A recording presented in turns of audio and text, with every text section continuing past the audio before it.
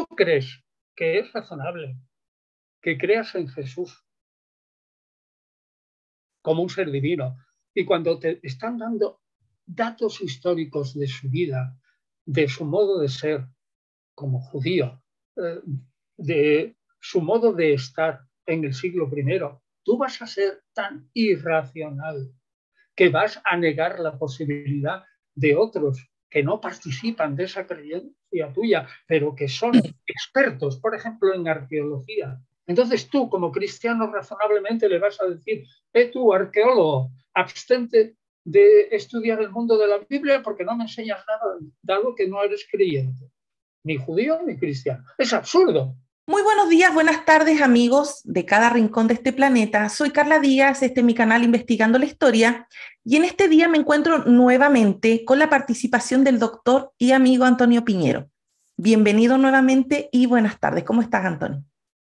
Bien hallado lo primero y debo decir que yo estoy estupendamente y más cuando estoy con mis amigos eh, investigando la historia. O sea, ¿qué más puedo pedir? Encantado de la vida. Gracias. Muy bien. Sí. Ahí te veo disfrutando de este día caluroso, mientras que acá en Chile estamos muertos de frío. Pues verás, el día caluroso de verdad es en toda Europa, eh, la zona sur, en donde yo nací, por esa zona, 44 grados. 44. Y aquí tenemos 25, uh, 26, o sea que es una diferencia tremenda. Y el cuarto, el despacho donde tú me ves con esos libros ahí desordenados siempre, pero bueno, tengo un montón de libros aquí por el suelo, pues y, por aquí al y otros abajo y en Madrid y tal, pues resulta que eh, ahora mismo en este, en este despachito hay 25 grados, o sea que estamos muy bien. Fantástico. Qué rico. Qué rico. Así son, así son ricos los días, ¿cierto? Sí. Y además lo digo una cosa, con la edad que yo tengo, cada día que, que me dan la vida, la razón universal, como quieres llamarlo, ¿no? El Dios ese misterioso, depende de cada uno, cada día es un regalo. Exacto. Eso es un regalo. Si es un regalo para todos, un regalo para mí, que yo ya he cumplido mis días. Como dicen los judíos, soy rico en días. Mm, Antonio, en este día tengo dos preguntas de este libro gordo, de este libro muy importante, el favorito de muchos de mis compañeros, los libros del Nuevo Testamento. En la página 64, tú hablas sobre las autoridades sagradas en el cristianismo primitivo. Mencionas tres, las palabras del Señor, las interpretaciones de los apóstoles, los primeros maestros y profetas que conocieron a Jesús, y la última me llamó la atención, la dirección del Espíritu Santo. ¿Por qué me llamó la atención? Porque hoy en día hay líderes y maestros cristianos que quieren seguir guiándose por el Espíritu Santo cuando hoy en día tenemos diversas disciplinas de estudio. Entonces, ¿cuál es la diferencia entre la dirección del Espíritu Santo de estos primeros cristianos y los de hoy? Los primeros cristianos es que vivían eh, una vida intensísimamente mística y en realidad, como estaban esperando el fin del mundo de un modo inminente, no necesitaban formar ni iglesia, ni obispos, ni nada. Entonces, ¿qué es lo que pensaban? Pues que la guía del Espíritu Santo, descubierta luego por Lutero, dice, esto es un paréntesis, ¿no? Lutero dice, si alguien se deja guiar por la buena voluntad y, el Espíritu Santo que anida en la buena voluntad porque es buen cristiano, encontrará la verdad de las escrituras. Yo estoy convencido de que los primeros cristianos estaban convencidos a su vez de que ellos eran eh, precisamente por tener ese contacto con el Señor resucitado, eran absolutamente eh, si no manipulados, intensamente penetrados por dentro todo el cuerpo por el Espíritu Santo. Eso lo puedes ver en algunos modernos místicos estáticos ¿eh? que eh, dicen, dicen, yo no he estado en iglesias pentecostalistas, pero hay algún momento en que son, eh, caen en éxtasis y pierden absolutamente su conciencia. Eso es más o menos lo que debemos imaginarnos el estar guiados por el Espíritu Santo, a saber, ciertamente, estar poseído y transido por una fuerza misteriosa, ojo, que no es todavía la tercera persona de la Santísima Trinidad, ni mucho menos.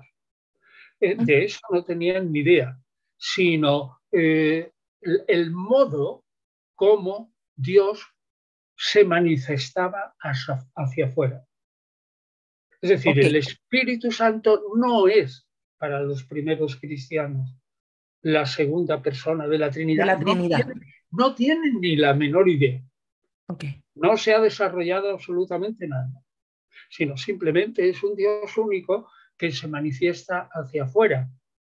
Es un modo. Esa es la gran diferencia. La manifestación de Dios hacia afuera, hacia afuera, tú te lo puedes imaginar como algo personalizado. Por ejemplo, la sabiduría o el logos, la palabra. Eso se llama una hipóstasis personalizada.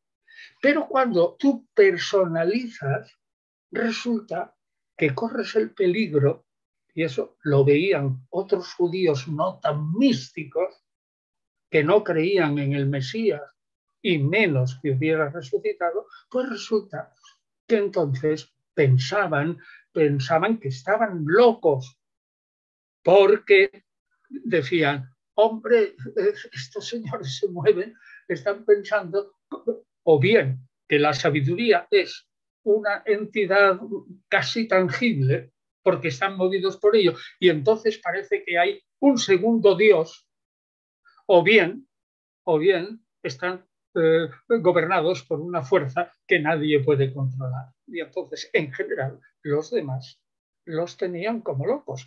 Ahora bien, el individuo que no interpreta de una manera, el espíritu digo, como hipóstasis, como entidad, como un ser, un ser personalizado y lo interpreta como un modo, es decir, como si Dios tuviera capacidad, ojo, que esto es problemático, ¿no? En teología, porque Dios no puede tener capacidad porque según la teología la tiene toda, pero como si en algún momento lanzara algún efluvio hacia afuera, sin dejar de sí mismo. ¿Sabes cómo lo explicaban? El modo de Dios es, por ejemplo, la luz que sale de Dios y atraviesa un cristal. Es decir, esa luz, eh, Dios no pierde nada ni se mueve, es, es su luz. Pero sin embargo, si te deja ver su luz en ese momento, estás gobernado por su luz. Pues del mismo modo, el espíritu, y quizás de una manera un tanto más gruesa, porque algunos se lo imaginaban pues como una bruma, como un aire que es físico, es como si Dios sin moverse fuera una fuente y esa fuente emana hacia, hacia afuera y la fuente sigue siendo la misma. ¿Me explico? Si tú lo piensas así, gobernado por el Espíritu de este modo, emanando, pues los otros judíos que no creían en el Mesías dirían, hombre, pues este respeta la unicidad de Yahvé, el Dios de los judíos. Ahora, como pienses a la sabiduría de una manera personificada, lo pensaban otros, dirían, este ha caído en el diteísmo, dos dioses, y entonces sería rechazable. Bueno, pues eso era una autoridad. Es decir, lo que yo quiero decir que si tú tienes una Biblia, es decir, una colección de libros sagrados, que son los cristianos, y tú tienes esa luz que atraviesa sin disminuirse en absoluto el cristal de, de tu cuerpo, pero te llena, pues entonces, ¿qué más quieres? Ahora, fíjate el problema en el futuro. Yo lo digo ahí porque no necesitaban ningún libro sagrado, pero tú imagínate que una comunidad estuviera llena de gente que todos son iluminadas. ¿Tú crees que hay algún, algún obispo que pueda gobernar a gente iluminada. Pues no. Y eso es lo que pasará más tarde. Pero en el momento en el que yo digo, antes, antes de que se, se, se empezaran a formar escritos, ellos tenían su Biblia y sabían que tenían esa buena voluntad y esa guía de la luz divina para interpretar correctamente sus libros sagrados. Los libros, los libros sagrados de los antiguos judíos cristianos son es la Biblia hebrea, evidentemente, un poquito más ampliada y no tan fija como ahora. Entonces, menuda comunidad más fantástica, ¿no?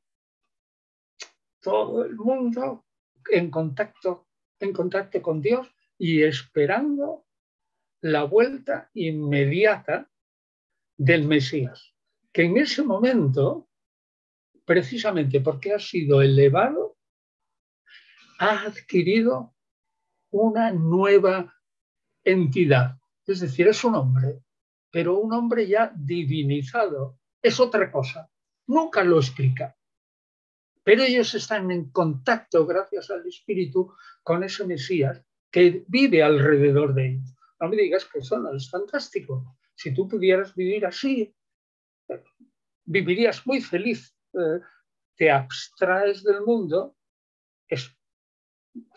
estás deseando en, algún momento unirte con el Señor o si estás aquí en esta vida, pues te imaginas que rodeado de esa luz eres invencible. Claro, pero si eso, ese modo de vivir y de interpretar mediante este espíritu, lo traemos a nuestros días, hoy en día, ¿es razonable hacerlo? Que los líderes sientan que no deben prepararse académicamente para entender la Biblia, sino más bien hay un Espíritu Santo, un Espíritu de Dios que los guía a entender la Biblia. Bueno, ahí te digo que los que somos racionalistas, como soy yo, meramente historiadores, agnósticos, pues entonces eso no lo entendemos. Pero ellos dicen que sí lo entienden. Lo único que pasa es que nosotros carecemos de ese don. Y si tú me dices, ¿lo ves razonable? Es que yo no puedo emplear la, la categoría de razonable o no razonable en un éxtasis religioso. Ciertamente no lo tengo, soy muy escéptico respecto a ello, pero yo me veo fuera. Entonces, si me aprietas y me dices, no, no, pero dime si eso se puede hacer en el mundo moderno. Pues claro que sí. Pero te tienes que abstraer de todo, ¿eh? Y tienes que tener una concepción de Dios que no te va con el mundo este sideral que ahora vemos, ni las constelaciones, tiene que ser otro Dios distinto. Entonces, si me, si me fuerzas a un sí o un no, yo te digo que sí es posible. Pero para eso yo, yo no lo comprendo. Es decir, como, como agnóstico, y entonces me dicen, va, tú no tienes la suerte. Ahora yo le respondo, mira, sí para entender precisamente lo que tú sientes, o mejor, es como si me dijera un médico, y esto ya lo he dicho alguna vez. ¿eh? Eh, eh, tú no puedes entender lo que es un cáncer. Si un médico me dijera, tú no puedes entender lo que es un cáncer, pues un cáncer de mama o un cáncer de próstata masculino, femenino, algo así, y resulta, no lo puedes entender científicamente, salvo que tengas un cáncer yo le diría, bueno, usted está un poco loco, ¿no? ¿Cómo voy a tener yo un cáncer de próstata o de mama para entender lo que es un cáncer? Puedo entenderlo racionalmente. Pero si el médico te dijera, no, no, no, no, no puedes entenderlo racionalmente, tienes que vivirlo. Bueno, pues lo mismo pasa con esto. Eh, es decir, que yo, yo puedo admitirlo, ¿no? Pero él me dirá, ah, qué mala pata tienes, porque no lo entiendes porque no lo sientes. Y yo digo, bueno. Entonces aquí va una pregunta relacionada a este tema. Los no creyentes podemos estudiar la Biblia porque como no tenemos ese Espíritu Santo, ese entendimiento espiritual de la escritura, ¿podemos prepararnos académicamente para leer la Biblia o la Biblia solamente pertenece a los creyentes? No, yo creo que ya lo he respondido eh, de una manera indirecta, pero te lo diré más claro.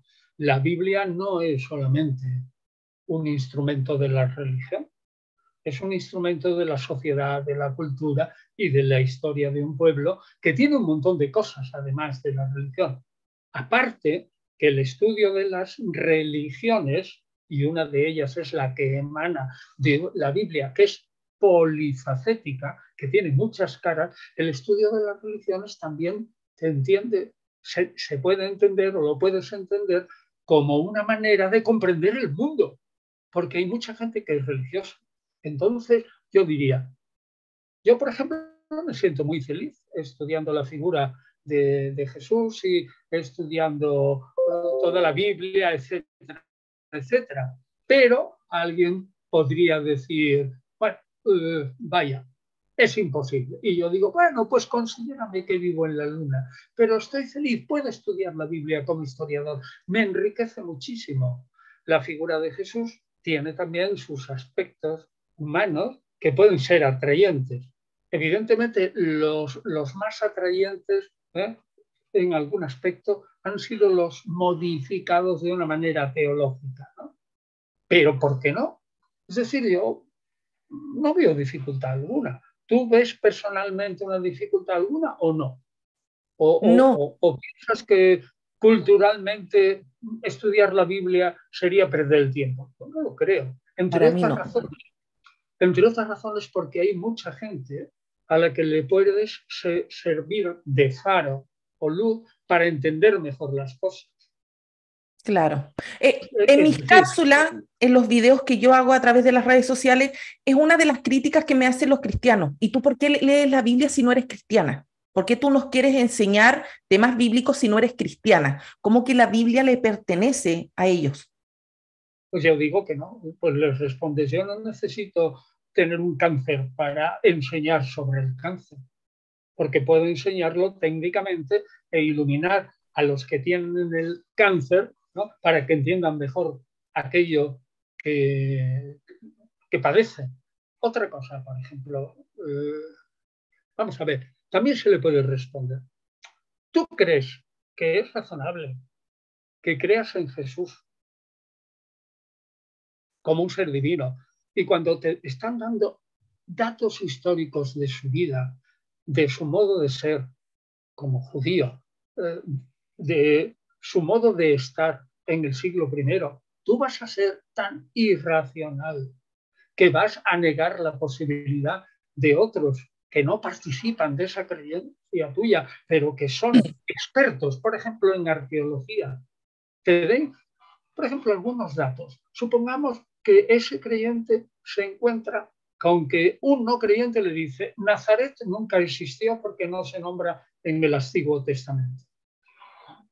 Pues un científico le dirá, mire usted, eh, eh, Nazaret, pero no en ese emplazamiento, sino en alguna cueva cercana, está, está habitado desde el neolítico. Y la arqueología pues, te dice que es posible que hayamos encontrado una casa del siglo I o un lagar donde se podía pisar uva. Ahí la arqueología te está dando datos. Ese señor no es cristiano. Entonces tú, como cristiano, razonablemente le vas a decir, eh, tú, arqueólogo, abstente de estudiar el mundo de la Biblia porque no me enseñas nada, dado que no eres creyente, ni judío ni cristiano. Es absurdo. totalmente. Y, la arqueología lo tenemos bien claro, o las numismáticas, ¿no? Por ejemplo, para estudiar a Herodes el Grande o Herodes Antipas, pues también te valen las monedas que ellos han dejado. Y la, arqueología de lo que hicieron con el pueblo, lo cual te ayuda a considerarlo a uno y otro, cómo actuaban respecto al pueblo, lo cual condiciona la vida del entorno de Jesús y la de Jesús mismo. ¿Cómo te vas a negar a que alguien te ilumine la figura de Herodes Antipas si está ahí en el Evangelio? Fue el que liquidó a Juan Bautista y el que contribuyó, sin duda alguna, también a liquidar a Jesús. en poco tiempo. No te puedes negar a eso. Es, irracional que tú montes tu vida, eh, tu vida eh, y eh, sobre Jesús, pero te niegas al mismo tiempo a aceptar los datos de la historia o de la arqueología o las numismáticas sobre Jesús. Exacto. Seguimos dando vueltas sobre lo mismo, pero parece absurdo. Y luego otra cosa, tanto la América hispana, eh, de lengua hispana, como la América eh, de, lengua portuguesa, o la lengua América de lengua anglosajona, y todo eso lo mismo que Europa, está formada culturalmente sobre el cristianismo o la lucha contra el cristianismo, o aparte de religiones indígenas. ¿no? Eso se ve más en Europa, donde las religiones indígenas han desaparecido. En, en, América todavía existen. Aquí en Europa la religión de Grecia y Roma ha desaparecido. Pero tú, si aceptas que perteneces al mundo cultural europeo y Europa está fundada sobre el cristianismo y culturalmente tu mentalidad es cristiana, porque tú no tienes una mentalidad budista, que no. Ajá, exacto. Pues tú tienes una mentalidad cristiana y tampoco tienes una mentalidad confucionista o sintoísta.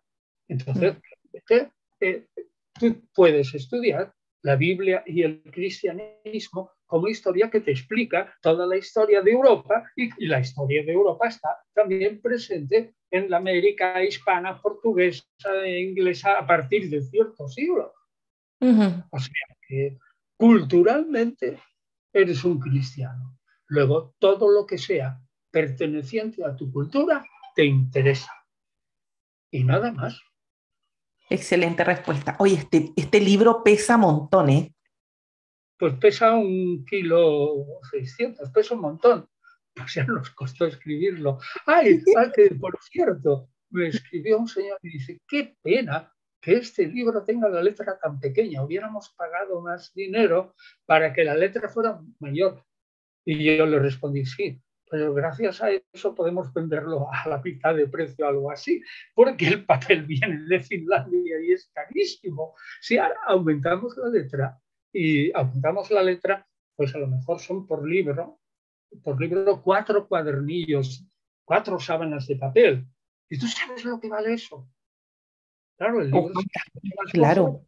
mucho más y entonces el libro se transforma en invendible porque la gente dice, hay mucha gente que dice, bueno, acepto que el libro pues, puede ser muy bueno y a lo mejor resulta que tendría que valer 200 dólares, ¿no? En un mercado real. Sí, sí, pero yo no tengo 200 dólares eh, para gastarme en un libro, 100 dólares, por muy bueno que sea. Lo necesito para el pan. Y entonces, pues yo lo admito. Pues imagínate. Ahora, no sé qué piensas tú, ¿tendríamos que hacer caso y hacer una edición con letra más grande? No, no, no. Yo algunas cosas que están muy chicas, como las notas pie de página, utilizo lupa. En el caso de gente que necesite leer con letra más grande, compra la versión digital y le hace zoom a la pantalla. Eh, hay soluciones, entonces es una minoría la que puede llegar a quejarse por el tamaño de la letra. Mejor agradezcan el valor de esta obra. Vale, te lo agradezco yo a ti que lo defiendas tú también, porque es lo que yo iba a decir. Está la versión digital, que es verdad que es más incómoda porque la página es más chiquitita en algún aspecto, pero lo puedes poner tan grande como quieras. Exacto, exacto. Y seguimos con este tremendo libro. La página 71, cuando hablas de la estructura del canon ya formado, me llama la atención eh, estos números, o sea, las reglas numerológicas por las que se guiaron. Eh, el número 4, que representa lo cósmico, y el número 7, la plenitud. El 4, los cuatro evangelios. El 7, las siete cartas paulinas. Eh, me llama la atención, ¿por qué se guiaron por esta numerología? Bueno, porque era el espíritu de la época y porque son las iglesias tienen un trasfondo judío.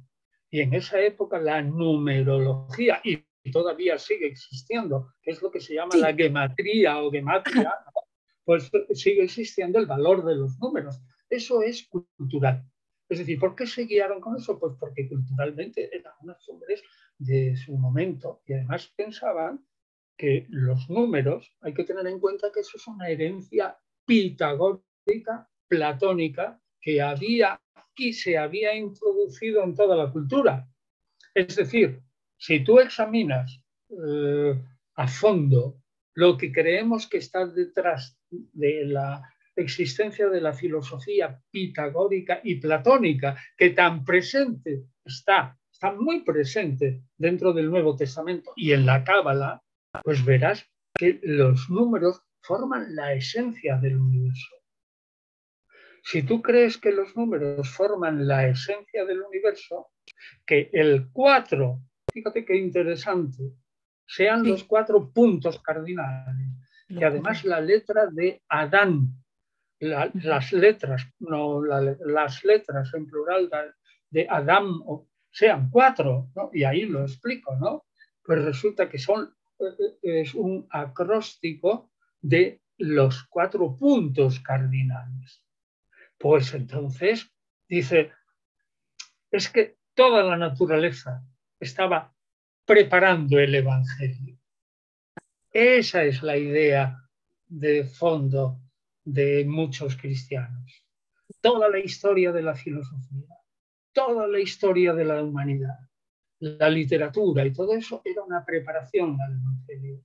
Bueno, pues si ya está determinado que en el ambiente de la época el claro. es fantástico, no te extrañes que cuando manipulan, así de claro, ¿eh? Las cartas de Pablo en el siglo II y en esa manipulación encuentren, encuentran solo 13 cartas, no te extrañe que pasado un tiempo le añadan hebreos que pega nada, vamos, es como, es una teología totalmente distinta, pero ya son 14, 7 más 7. Y ese es mi argumento en contra de los que dicen que eh, el Nuevo Testamento se formó de una manera natural, es decir, una, cosa obligatoria y tal, así, porque se leían en las iglesias, etc. Yo digo, no, no, aquí no hay nada absolutamente en esto natural. Tú puedes decir que ha sido inspirado por el Espíritu, pero eso, eso indica que la construcción del Nuevo Testamento es obra de gente consciente de lo que estaba haciendo. Claro. Y lo otro que digo, y termino, ¿y qué iglesias había en el, en el ciento, pongamos, desde el 150 al 170? ¿Qué iglesias eran las que había? ¿Había muchas iglesias judeocristianas? Pocas. La inmensa mayoría eran paulinas. ¿no? Luego el Nuevo Testamento fue hecho por iglesias paulinas no por iglesias petrinas que acogen a Pablo como si fuera un prófugo y lo acogen debajo de su manto y lo domestican. Ni hablar nada de eso. Es todo lo contrario. A ver, perdón porque yo te interrumpí. Ah, no, no, no. Es que sobre el número 7, que por ejemplo están las siete epístolas genuinas de Pablo, la de sus siete discípulos, las siete del resto de los apóstoles. Y en Apocalipsis, Apocalipsis está dirigido a las siete iglesias de Asia Menor. O sea, se repite el número siete, no puede ser al azar. Claro, no es al azar. Y todo el Apocalipsis está sobre, sobre siete, sobre el número siete. Eso claro. basta con leer el comentario del Apocalipsis ahí, ¿no? Bueno. Siete plagas, siete cosas, siete todos esos siete libros ¿no? que hay que abrir, en fin, todo eso es, es una cosa totalmente voluntaria. ¿Yo qué es lo que, qué es lo que sacaría? Ahí hay, uniendo lo que tú decías al principio, ahí puede haber mucha inspiración del Espíritu Santo, dirán algunos. Pero ahí lo que funciona realmente son eh, impulsos culturales. Yo a eso le llamo impulsos culturales, porque el 7 como señal de plenitud, a no ser que el Espíritu Santo inspirara también a los acadio-babilónicos y los babilónicos y, y en Irán o algo así, pues entonces tienes que pensar que es un producto cultural. Y ya está, es un producto cultural. Otra razón más para que lo estudiemos como algo que se puede estudiar fuera de la fe. Pero ojo, como siempre, ¿eh? el historiador, y esto lo digo en indagando eh, o investigando la Biblia, en estos grupos de investigación mm, bastante racionales, pues, es que es fantástico, es, es fantástico tienen toda la posibilidad de existir con todo derecho, que es el ánimo que a mí me da ver que, existís como grupo, ¿no? Y que aceptáis todas estas cosas que a los demás bueno, pues esto, o son unos, dicen, son chifladuras, o no. Y luego, lo último, lo que yo he dicho tantas veces, si realmente somos historiadores, Mm. Nadie quiere lavar el cerebro. Un historiador nunca pretenderá lavar el cerebro. Es decir, convertirlo. Les pondrá los datos y dirá, ah, usted haga lo que quiera. Me parece fantástico.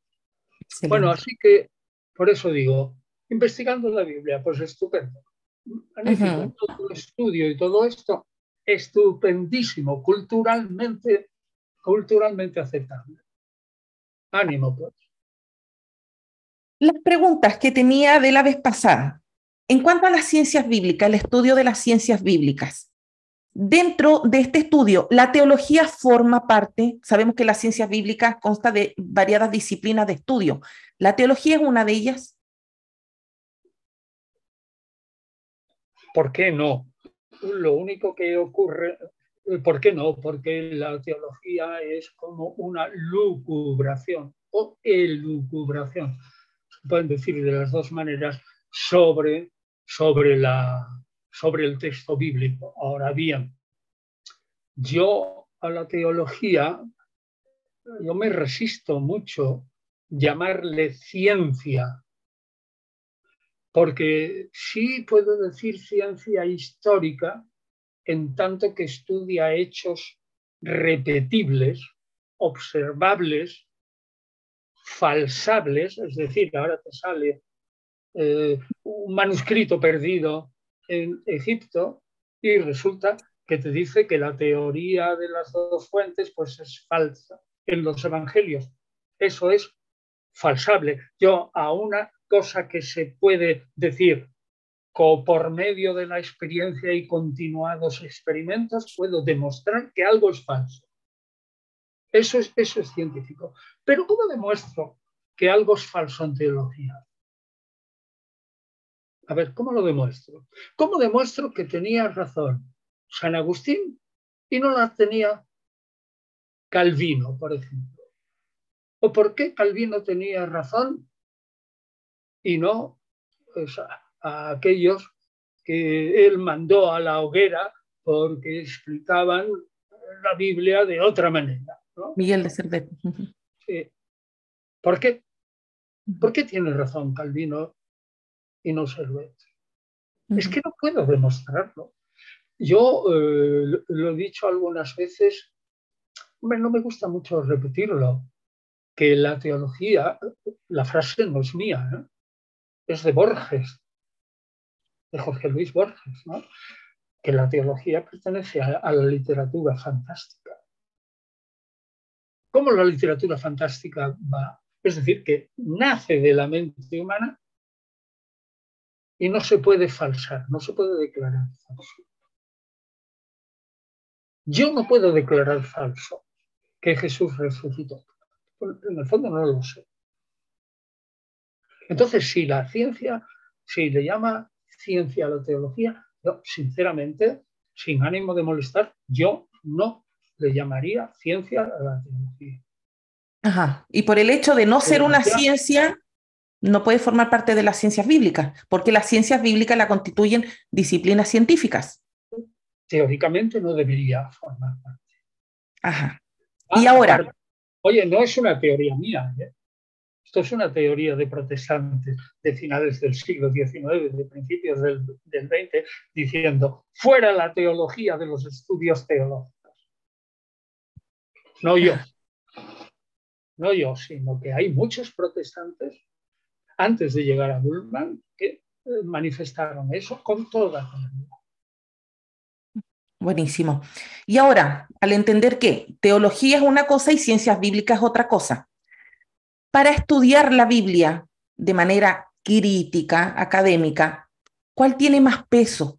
¿La teología o las ciencias bíblicas? Y yo te hago estas preguntas y sigo insistiendo en estas mismas preguntas porque es lo que hoy en día se está hablando en redes sociales del mundo protestante dicen que la teología es más importante que las ciencias bíblicas y otros dicen que la teología forma parte de las ciencias bíblicas.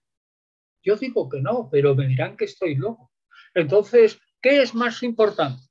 Pues ya lo he dicho indirectamente, las ciencias bíblicas a las que podemos llamar ciencias. Y es que entonces se reducen a la ciencia de los manuscritos, es decir, la codicología o lo patología, se reduce a la historia, se reduce a la crítica de eh, historia de las formas, historia de la religión, sociología del Nuevo Testamento, todas cosas que al fin y al cabo son, eh, son mm, productos eh, que se pueden reducir a ciencias empíricas. Sí, sí, son ciencias relativamente empíricas sobre datos empíricos. La teología es que trata sobre lo, por esencia, sobre lo sobrenatural. Y eh, lo sobrenatural no es empírico, no es ciencia. Nada, hemos vuelto a lo mismo. Tú mismo has dicho que vamos a estar dando vueltas sobre lo mismo. Pero ya lo dejaste súper claro y a mí me interesaba tu opinión. Bien, pero no será aceptada no será aceptada porque dirán que eso es propio de agnósticos o de ateos. es verdad. Y ahí van a comenzar a satanizarte. No, sí, todo eso sucede, pero yo quería escuchar tu opinión y los amigos de Investigando la Historia también. Les gusta escuchar tu opinión y la respetan absolutamente. Pues verás, te diría, te agradezco ese respeto, pero también he defendido muchas veces que las opiniones no se deben respetar. No, las opiniones son ideas. Hay que respetar a la persona que es la portadora de derechos. Pero las ideas que son elaboradas por las personas y las opiniones eh, solamente están para ser discutidas ¿eh? para ser puestas en cuestión, para sustituirlas por... Ahora, eso sí, si yo respeto a la persona portadora de esas ideas, nunca me, eh, eh, me comportaré como un salvaje, sino que discutiré, discutiré cortés y educadamente. Claro. Y no le diré a lo demás, mire, usted no vale, no vale discutir conmigo porque usted es tonto. Jamás lo diré. Ahora, eso sí, sus ideas, mire, yo les respeto a usted en extremo, pero sus ideas, pues no, porque si el mundo hubiera respetado las ideas de los demás, jamás habría avanzado. Ajá. Claro. Pero bueno, ahí es cuando nosotros como investigando la historia nos hacemos cargo cuando dicen que idolatramos al doctor Antonio Piñero, porque sí, eso dicen. Ah, bueno, pues, pero yo no soy objeto de idolatría, yo soy un, un señor, e, es un filólogo que está sobre la tierra y que dice sus opiniones. Yo, a la verdad, cuando dice eso, a mí me da, eh, por una parte, a nadie le molesta que te den palmaditas en la espalda. Hombre, me gusta a mí lo que usted dice. Oh, hombre, eso te encanta y sigue, ¿no? no pero idolatrar, lo dicen ellos. Por eso mismo, en el grupo de WhatsApp de Investigando la Historia, te tenemos un sticker con una aureola. Eres San Antonio Piñero. Pues yo no soy santo. Si me conocieras ya verías lo malvado que he sido en mi vida. Más malo de lo que te puedes imaginar este pequeñito. O sea que, o sea que no, no, no. Yo lo, lo único que tengo quizás es que expreso mis ideas con nitidez, con claridad y con respeto. Y nada más. Eso Antonio, ya nos vamos despidiendo y me interesa muchísimo que antes de despedirnos puedas dar unas palabras para los amigos de Investigando la Historia que tanto te aprecian, te admiran y te respetan. Bueno, ¿y, qué voy a decir más de lo que dije al principio? Esto es para cerrar. No, más que estoy encantado que sigáis, que sigáis investigando, porque la investigación llena realmente el ánimo. Eso es lo que llena el alma.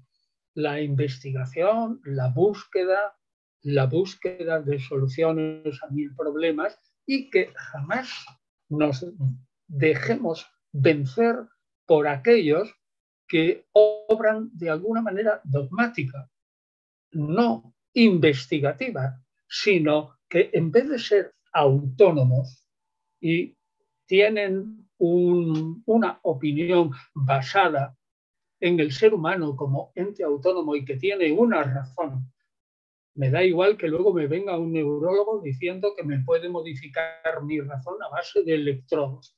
Pero bueno, normalmente utilizamos la razón. Que digan lo que quieran. ¿Eh? Que investigar, eso llena muchísimo y, y te ayuda a vivir, te ayuda a estar pie. ¿Cómo, si no investigas y no eres religioso, cómo vas a estar de pie en un mundo que aparentemente no tiene sentido alguno? Es decir, nosotros le buscamos eh, el sentido, le buscamos el sentido a base de indagar, investigar, escrutar, estudiar. Así que pues que, que sepas, querido amigo del grupo, que tan gloriosamente dirige Carla, que es seria seria y alegre a la vez, pues entonces bien organizada y puede al mismo tiempo romper su organización. Así que seguid adelante con el grupo. Fantástico. Yo apoyo al grupo. Gracias, Antonio. Y animar a los amigos que les gusta el estudio de la Biblia a comprarse los libros del Nuevo Testamento. Este libro vale oro. A pesar de ser tan económico, vale oro. Entonces, Antonio, hoy martes 18 de julio se sube esta entrevista al canal. Así que muchas gracias a todos los amigos que la verán en diferido. Nos vemos, Antonio, y muchas gracias por tu tiempo y por tu día. Bueno, soy yo el que agradezco. Sí. Yo solo aquí, encerradito, hombre, soy casi en cero a la izquierda, incluso escribiendo. Mientras que si te proyectas con amigos en la red o con periodistas, pasas de ser un cero a la izquierda a ser un cero a la derecha. Sí. Un besito. No políticamente. ¿eh? Seguimos después tú y yo hablando ya. Cuídate mucho. Saludos.